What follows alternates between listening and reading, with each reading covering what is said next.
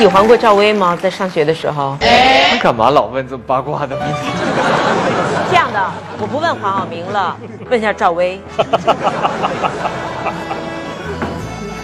嗯，他就是一个很乖的一个高中生的感觉，本性特别的淳朴憨厚，然后乖乖的，也没有谈过恋爱，也没有交过女朋友，估计属于人家看他一眼他都要躲的那种吧。对，嗯，让他打个开水什么的，让他取个东西什么的，然后有什么的课带着去教个什么东西的时候，都都都特别好用，这样的。大家那时候非常纯纯真吧，我觉得。那他当时不知道什么鬼使神差有这样子的念头，这样的，但是他实在是怎么说呢？我觉得我当时就觉得他像个大男男孩儿，但是我 我觉得哎呀，是个男孩儿，现在像个男人了，你知道吗？我就说两个人那时候是不不嗯没有缘分吗，这样的。啊？你笑得特尴尬哎。但有很多东西当事人可能已经不记得了。呃，入学的一瞬间，大家还记得那个画面，但是第一次两个人演对手戏的画面还记得吗？我记得你跟我们回忆一下，当时第一次两个人合作是什么？什么作品？就是汇报学校，因为我们刚刚进学校，第一次汇报演出，就我们军训完了之后有一个汇报演出，我们俩演一个小品叫做《婚姻介绍所》，我记得好像是。然后呢，我就是他过来应招来应招那个那个女孩儿，然后她装瞎子还是装瘸子，好像是装，我忘了她装瞎子还是装瘸子了。后来我发现她是个骗子，她只是来试探我而已。对，就这样子的一个小品。赵薇说，她印象中他们第一次合作是什么？是不是这个？对吧？对对对对对这是你印象中第一次婚姻介绍所。介绍所对，好，我们问问赵薇。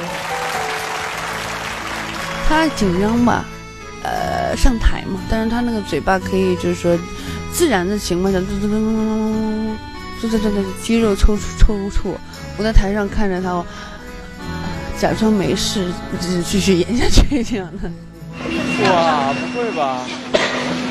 现在并不是人人都有机会到大自然中去的。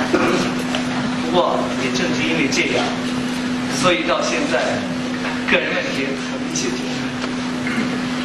哎，对了，你是干什么的？那你喜欢看电影吗？啊，看电影。那就好，我这有两张电影票，你愿意陪我去吗？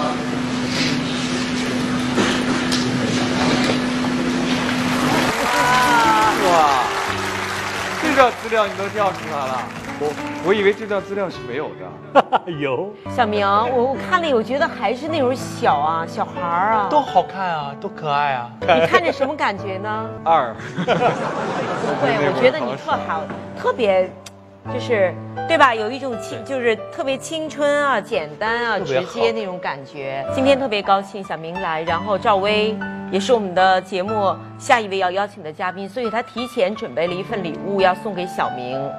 啊，我们来看看是什么呢？来，拿过来。哇，古董啊！真的假的？真的，赵薇，这个我们不能再去猜猜是什么。当年写给赵薇的信还有吗？啊，没有吧？扶着点儿。谁谁把它丢在风里？还有你给他剪的头发，有可能就在这里。我真没有做过嫁衣，来，你来，你来开，你来开。没什么 玩我的东西吧？没有。不会的。金钟岳飞主创黄晓明、唐季礼、张嘉倪做客超级访问。黄晓明首次饰演岳飞，为何会让成龙大哥很生气？本来呢，岳飞是我演的，但是我不知道那个王晓明用什么手段把我抢过去。剧中岳飞豪气冲天，现场黄晓明却爱卖萌。其实十九岁我不用装，我差不多。不是因为睡得太少的话，我可能看起来更年轻。更多精彩尽在超级访问。赵薇提前准备了一份礼物要送给小明。啊，我们来看看是什么呢？来，拿过来。哇，古董啊！真的假的？真的，猜猜是什么？当年写给赵薇的信还有吗？啊，没有吧？扶着点儿。谁谁把它丢在风里？还有你给他剪的头发，有可能就在这里。我真没有做过嫁衣，来，你来，你来开，你来开。没什么玩我的东西吧？没有。不会的，咱们是访谈节目，又不是。啊妈呀！我以为什么呢？他说你是个岳飞控，对，岳飞的小人书对，好像是老的那种小人书看真的是啊。老的那个，这个就是我真的小时候看的小人书。说很难找。小明最后说两句吧。今天我们其实从家里一直到了电影学院，又到了这个现场，啊，我帮你拿着。说说你的感受。我觉得我特别骄傲的是，我做了演员这个行业，因为我的人生的每一个阶段都会有影像、有照片帮我记录下来。我很开心，我的人生不是简单的，不是一帆风顺的，是经历了很多的挫折的。我相信，等我老了之后，我回头会发现，原来充满了挫折的人生，才是美好的人生。